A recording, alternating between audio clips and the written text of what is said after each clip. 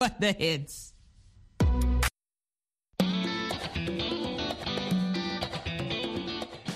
Welcome to Learning English, a daily 30 minute program from the Voice of America. I'm Dan Novak. This program is aimed at English learners, so we speak a little slower and we use words and phrases especially written for people learning English. Here are the stories on today's program. First, Gregory Stachel has a story on Afghan refugees. Next, Anna Matteo brings us this week's words and their stories. Dan Friedell and Faith Pirlo report on college athletes for this week's Education Report. Ashley Thompson has a story about the popularity of instant noodles in Thailand. Finally, Anna Matteo returns with Jonathan Evans for a story on urban mining in Brazil. But first, here is Gregory Stachel. The U.S. State Department has referred more than 5,000 Afghan refugees seeking admission to the United States to a partner program in Canada. Wait times for refugees there are shorter. We are working with Canada to refer up to 5,000 refugees to Canada, independent of our ongoing efforts for U.S. resettlement a State Department spokesperson told VOA. On the Canadian side, Immigration, Refugees and Citizenship Canada, or IRCC, said Afghan refugees referred by the U.S. are coming to Canada from third countries. They have been living in those countries since fleeing Afghanistan. Newly formed groups like Operation North Star and Task Force Pineapple are working to rescue those still in Afghanistan. Such groups formed after the Taliban takeover of the country last August. But getting people out of Afghanistan is just part of the problem.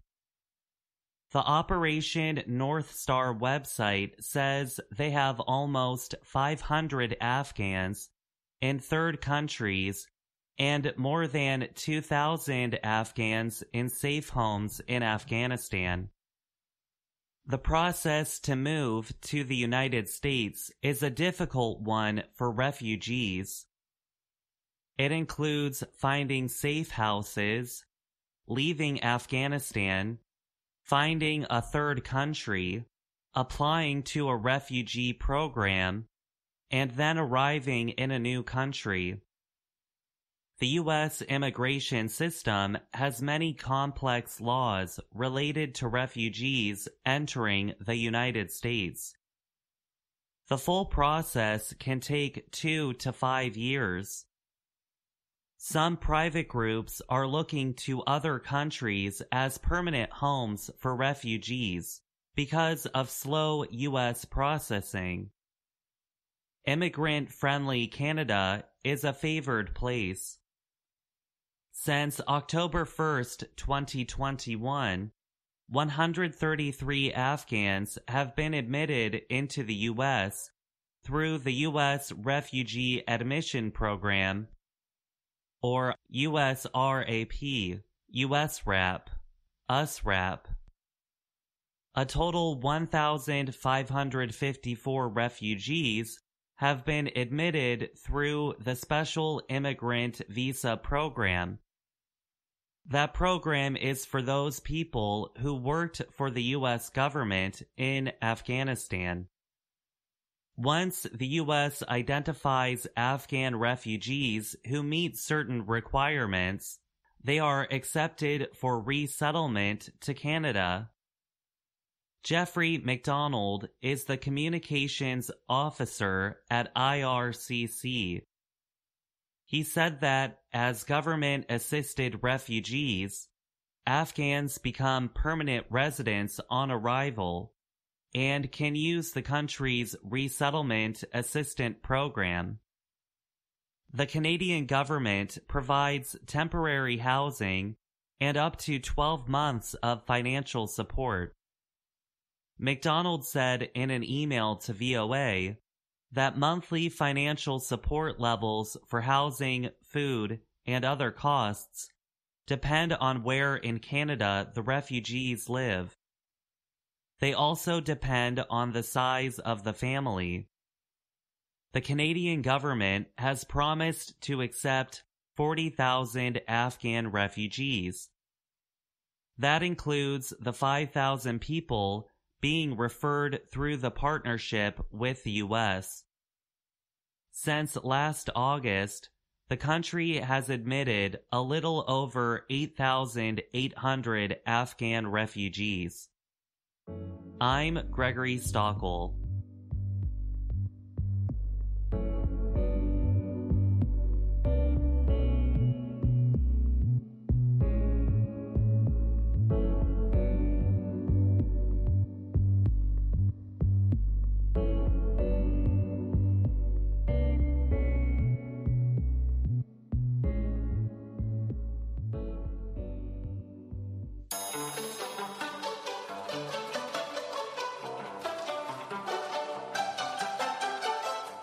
And now, words and their stories from VOA Learning English.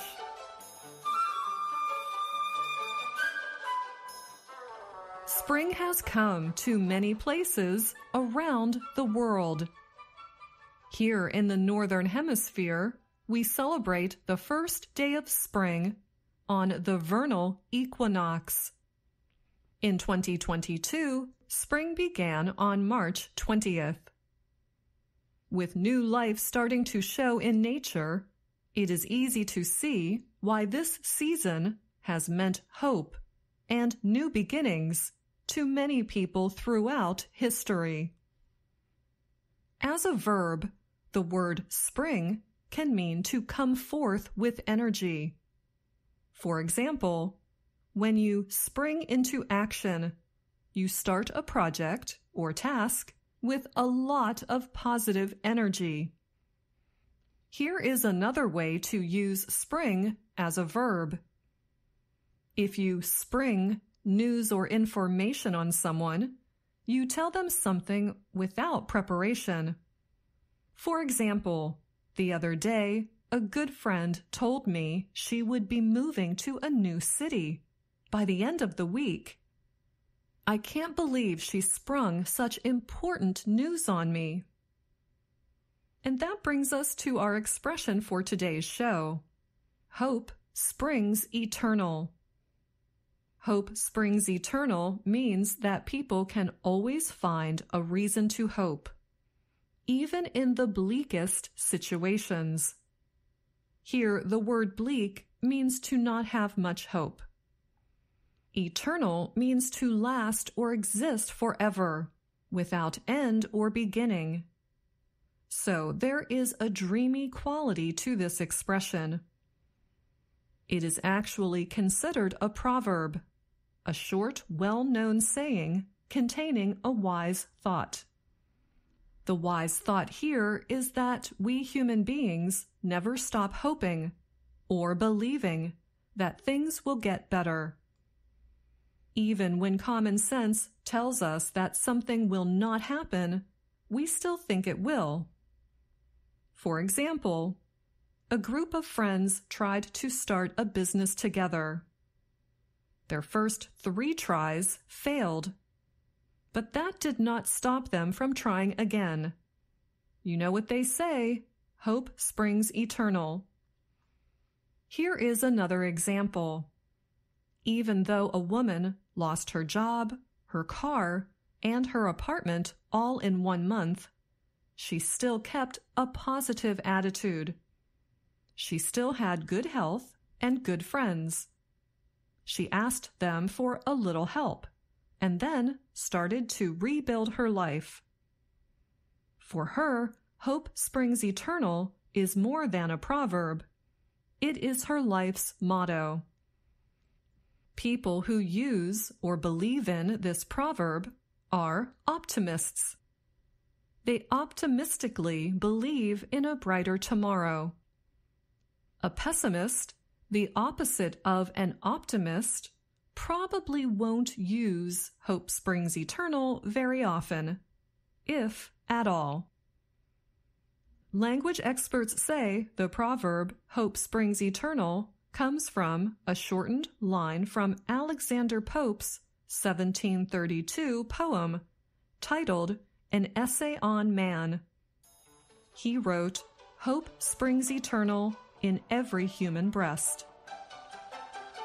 And that's all the time we have for this Words and Their Stories. Until next time, I'm Anna Matteo.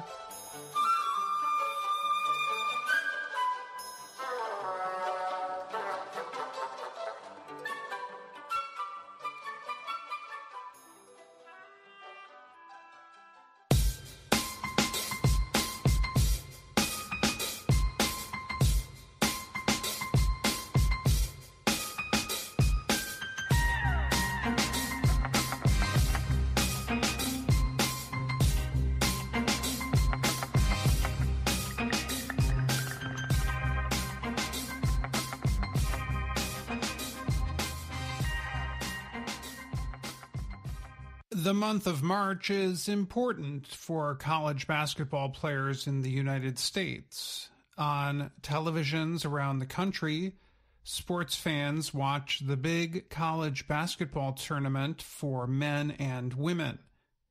It is an opportunity for young athletes to get attention and become famous. The tournament games are known as March Madness. In the 1970s and 1980s, basketball players like Magic Johnson and Michael Jordan first became famous in March. However, they were not permitted to make money from their fame until becoming professionals and joining the National Basketball Association. After they became professionals, they could get paid by their teams and do advertisements for companies like Nike. Now, however, thanks to a decision by the U.S. Supreme Court last June, American college athletes are now permitted to make money from their fame. The athletes can make money by permitting businesses to use their name, image, and likeness to sell a product. The agreements are called NIL deals. As a result, some university athletes are becoming wealthy at age 20. Others may not become wealthy, but they want money to fall back on. That means they will have some saved money, even if they do not have a long sports career. That is the viewpoint of Deja Kelly, a basketball player at the University of North Carolina, Chapel Hill. The NIL deals are important for female athletes who will not have as many opportunities to make money as male athletes after college. We can't play forever. The ball stops bouncing at some point, Kelly said. She has six NIL deals, including one with a large coffee company and another with a large restaurant group. Many of the deals require the students to place messages on social media apps, such as Instagram and TikTok, to reach fans. In others, the students' faces appear in advertisements for businesses in return for money.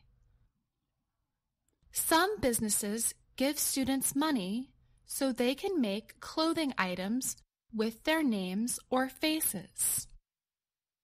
It'll set me up for life, Kelly said, meaning she hopes to not have financial worries in the future. Most of the time, it is easier for male athletes to make money with NIL deals because their sports are seen by more people. However, some female athletes are doing well because they are very attractive. Livvy Dunne is one of them. She is a 19 year old gymnast at Louisiana State University. She has about 6 million followers combined on Instagram and TikTok. In a written response to questions sent by the Associated Press, Dunne said she has about 10 NIL deals. One sports media company, Barstool Sports, is making money by paying mostly female athletes to appear in photos and videos on its Instagram page. Another company, Beautiful Ballers, has photos of female athletes wearing very small swimsuits. Masai Russell is a track and field athlete for the University of Kentucky. She has about 20 NIL deals with companies that include media company Hulu and Walgreens, a store that has about 9,000 locations around the U.S. She gets paid to make advertisements on Instagram that show items like clothing and vitamins. Russell said she earns more than $100,000 per year from her NIL deals, but she is trying to be careful with the money. I'm trying to play it out very smart so that I'm pretty well off in my later years. Gloria Nevarez is the top athletics official for a group of colleges in the western U.S. She said she hopes the young women succeed for more reasons than just attractiveness. While some are doing well, not all college athletes are making lots of money. One of them is Bailey Moody. She is a wheelchair basketball player at the University of Alabama and a member of the USA Paralympic team. She said making money from NIL deals is a lot of work. She congratulates those who do on their success. Blake Lawrence works for a company called Opendorse, which helps college athletes find NIL deals. He said most are not making that much money. A good deal might bring in about $250 per month. There is one group of college athletes, however, who are not permitted to make money from NIL deals. International students who come to college in the U.S. on F1 student visas. Lee Cole is an immigration lawyer in Vermont. She said breaking that rule would have serious consequences. Dorka Juhas is a basketball player at the University of Connecticut. The team is often one of the best in the country. Juhas is from Hungary, so she is not permitted to make money in the U.S.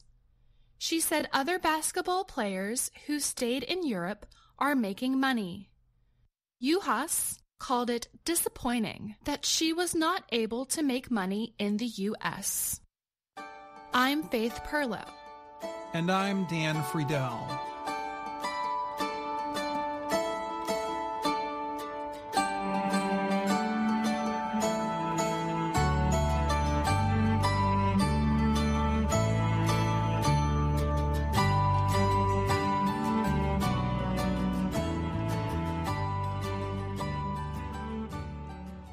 Thailand is known for its spicy, complex foods.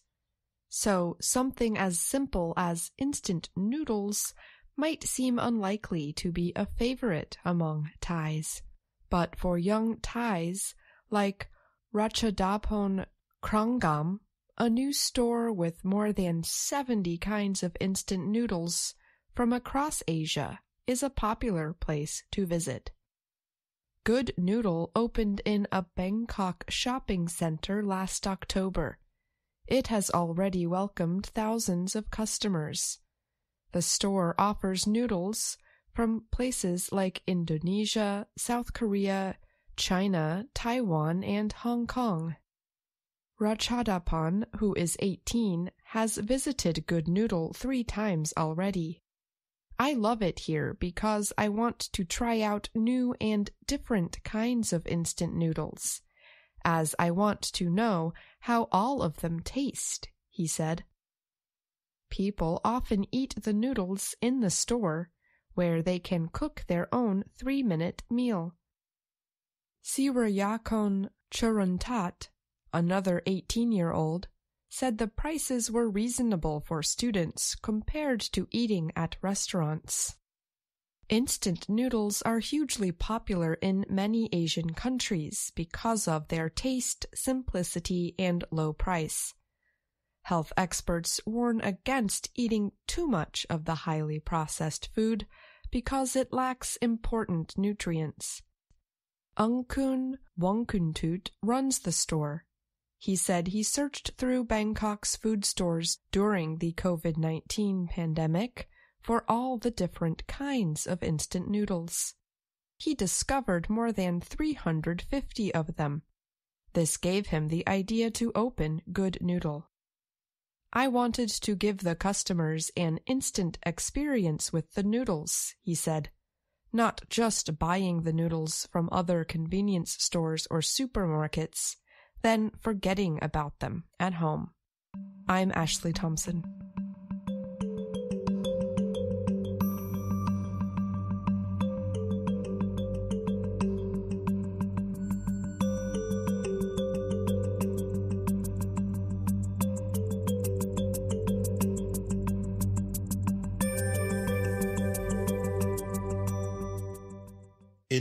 In northeastern Brazil, the capital of Alagoas State used to be filled with the sounds of busy city life. Cars and buses going to places of business, people enjoying daily life, and children playing. But now, the capital, Maceió, is quiet. Most residents have been evacuated. They have left because their now empty houses are falling apart and face destruction. Beneath their floors, the ground is filled with empty spaces from four decades of rock salt mining in urban neighborhoods that caused the soil above to settle and the structures atop the soil to start coming apart. Since 2020, tens of thousands of residents accepted payments to leave the area from petrochemical company Braskem. But some residents remain in Maceió. Some told the Associated Press they imagine the ground under their feet to look like Swiss cheese, meaning full of holes. Still, Paulo Sergio Doi said he will never leave his home in the Pinheiro neighborhood. It is where he grew up. The company cannot impose what it wants overnight to do away with the lives and histories of so many families, the 51 year old resident said in an interview outside his home. Braskem is one of the biggest petrochemical companies in the Americas. It is owned mostly by Brazilian state-run oil company Petrobras and construction giant Novonor. The company is not forcibly evicting anyone, but those remaining in Maceió said it feels that way. Braskem reached an agreement with prosecutors and public defenders to compensate families. This money was to help them relocate, and start their lives over elsewhere. By the company's count, 97.4% of affected homes, more than 14,000, are now empty. The 55,000 evacuees left behind not just neighbors and friends, but also jobs. Last year, the Federal University of Alagoas published a study. It found that 4,500 mostly small and medium sized businesses were closed. These businesses employed an estimated 30,000 people.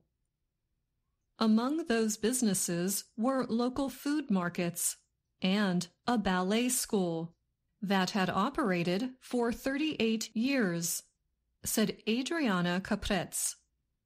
She is part of the university's work group that keeps details on the neighborhoods.